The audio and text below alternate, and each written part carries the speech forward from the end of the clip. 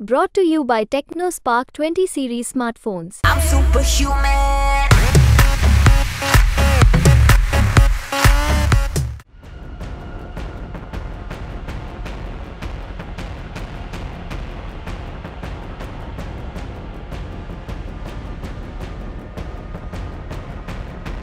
करीब दो महीने पहले की बात है चंडीगढ़ मेयर चुनाव को लेकर जो घमासान छिड़ा उसकी शक्ल अब देश की राजधानी दिल्ली में भी देखी जा रही है।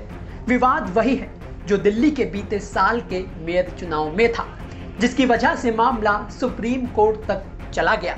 उस बार भी वजह पीठासीन अधिकारी की नियुक्ति थी, इस बार भी वजह वही है। उस बार विवाद के केंद्र में दिल्ली के एलजी थे, इस बार भी वही है। अब क्या है वो वजह?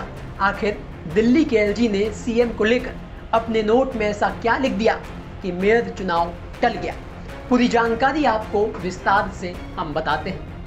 दरअसल, चुनाव आयोग की हरी झंडी मिलने के बाद मेयर चुनाव की गेंद एलजी के हाथ में थी, क्योंकि पीठासीन अधिकारी की नियुक्ति को लेकर जो फ़ाइल एलजी के पास मंजूरी के लिए भेजी गई, उसे बिना साइन किए एलजी ने मुख्य सचिव को लौटा दिया।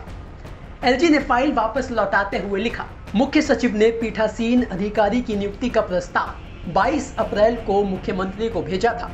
मुख्यमंत्री कार्यालय से जवाब आया कि मुख्यमंत्री इस समय न्यायिक हिरासत में हैं। इसलिए मुख्यमंत्री कार्यालय इस फ़ाइल को उनके सामने रख पाने में और उनका निर्देश पाने में असमर्थ है। मुख्यमंत्री जेल में हैं और पीठासीन अधिकारी की नियुक्ति के लिए अपना इनपुट देने में असमर्थ रहे। इससे भ्रम और अनिश्चितता से भरी स्थिति पैदा हो गई है। क्योंकि कानून स्पष्ट रूप से कहता है कि किसी निर्णय पर पहुँचने में मुख्यमंत्री के विचार महत्वपूर्ण है। मुख्यमंत्री की अनुशंसा के अभाव में पीठासीन अधिकारी के लिए 250 पार्षदों के नाम सौंपे गए हैं।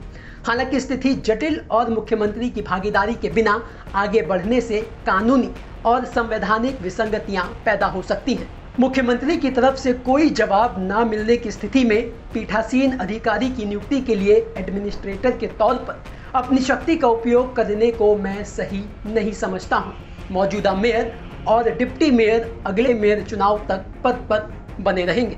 तो वहीं आपको याद होगा कि दिल्ली सरकार के यूडी मिनिस्टर सौरभ भारद्वाज ने दिल्ली के मुख्य सचिव पर पीठासीन अधिकारी की नियुक्ति की फ़ाइल बिना उन्हें भेजे सीधे एलजी के पास भेजने का आरोप लगाया था। इसे लेकर भी एलजी ने अपने नोट में लिखा मंत्री ने भी उनके पास पीठासीन अधिकारी की नियुक्ति की फ़ाइल भेजी थी और वही बात कही थी जो सीएम ऑफ़िस ने अपने नोट में कही थी।